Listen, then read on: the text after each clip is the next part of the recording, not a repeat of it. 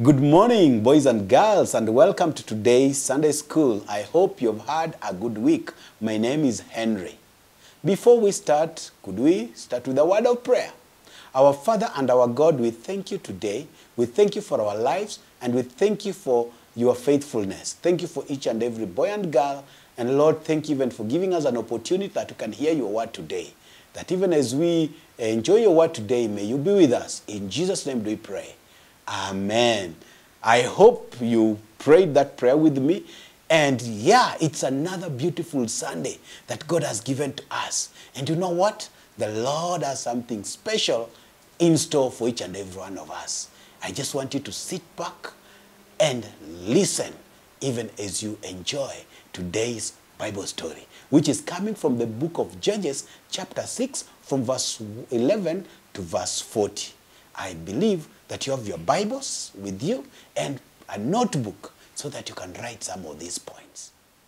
The month of February, we are looking at the life of Gideon. And the first Sunday, we looked at dealing with idols. The children of Israel, whenever they obeyed God, God would give them victory against their enemies. But when they disobeyed and went into worship of idols, God would hand them over to their enemies who would oppress them. And so last Sunday we looked at how uh, we can deal with idols in our lives. And today we just want to look at how we can deal with fear in our lives. Gideon was one of the young men in Israel. He was a man that loved God and feared God. And at this particular time, he was uh, he went to the uh, to the garden so that he can uh, take care of the wheat that they had planted. He wanted to prepare this wheat so that he can hide them from the Midianites. The Midianites were cruel people. They would come and destroy their crops and destroy everything. And so Gideon went so that he can prepare his wheat so that it will not be destroyed by the Midianites. And as he went there, and he was as he was just uh, doing his work, an angel of the Lord appeared to him and said to him, Mighty man of war, how are you? And Gideon looked and wondered, Who is this? How do you call me a mighty man of war? Don't you know who I am? I am Gideon, the least in my family. And my family is the least in our clan. And our clan is the least in, the, in our tribe. And then you call me mighty man of war? I don't think so. I am just a weakling. There is nothing good I can do. After all, these people have been oppressing us. We only hear of stories of how God used to save our people during these times of crisis. But we no longer see him. He's no longer there for us. But the angel of the Lord told him, Do not worry. I will be with you. I will help you to conquer. I want you to go at once and attack uh, these people. But Gideon said, Oh, wait, wait a minute, wait a minute. You mean me? Go attack them? I don't think so. But the angel of the Lord told him, I will be with you. Many of us are afraid of so many things. Some of us are afraid of cockroaches. Others are afraid of darkness. Others are afraid of nothing. We're just scared. And you know what? This is how Gideon was. But the angel of the Lord assured him that he will be with him. And so the angel of the Lord told him, Can you go and destroy the altar that your father has built for Baal and for the idols? And Gideon said, No, no, no, no, no, no, I can't do that. I can't. No, no, no, no, no, no. You're not serious. You want me to be killed. I don't want to die. I'm still young. But the angel of the Lord told him, You go in your mighty strength, for I will be with you. And so Gideon goes and plans, and he says, I will not do it during daytime. I'll do it at night when they are asleep. And so at night, Gideon went and destroyed the uh, altars of Baal and he raised another altar and he offered a sacrifice.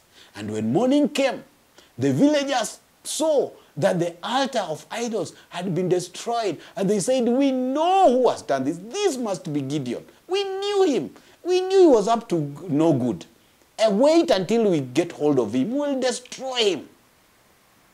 But the, uh, Gideon's father told them, No. Are you going now to fight for Baal? If Baal is God, he can fight for himself. So don't worry. Let him fight for himself. And so Gideon comes back, and the angel of the Lord speaks to him again and tells him, You know what? Now you can go and fight and destroy and attack the Midianites. But Gideon says, No, no, no, no, no, no, no. I'm not yet ready. No, not yet ready. Please, just one more time. Just one more time. I would like you to prove to me that you are sending me. You see, I have a hole or wool in my hands. Please, in the morning, I would like us to wake, I would like to wake up and find this wool soaked in water, and yet the ground would be dry. That would help me to prove that it is you who sent me. And so he goes to sleep and he keeps the wool outside. And in the morning, he finds it soaked in water. And he's surprised. Oh, it is soaked in water. And the surrounding is dry. But I don't think I'm still sure. Let me try one more time, God. Just one more time, the angel. One more time. Please, this night I would like to leave this wool again outside. And tomorrow morning when I wake up, let me find the wool dry and the ground soaked in water. And so he goes to sleep. And in the morning, to his surprise, he finds the wool dry and the surrounding soaked in water. And he says, Surely this must be the Lord sending me. And he says he will go. You know what, children? Many a times we are afraid. We are afraid of many things. And the devil wants us to be afraid so that we'll not accomplish what he has in store for us. And you know what? The Bible says that we should not be afraid. He has given us, he has not given us the spirit of fear, but he has given us the spirit of power, love, and sound mind. So we can trust in God, no matter the situation, no matter the kind of fear that the devil would want to bring on our way. This morning, we can pray to God, and God is able to deal with our fear. My name is Luta from Nairobi Baptist Church Westlands, and today I have a memory verse for you. Psalms chapter 46, verse 1, and it says, God is our refuge and our strength, an ever present help in times of trouble. Thank you. Wow, that was a good memory verse. And I believe that we are going to remember it even as we go into our today's story about Gideon and dealing with fear in our lives. I want us to pray. Is there anyone who has any uh, thing that is afraid of that would like us to pray? I want you to pray together with me, even as we trust God.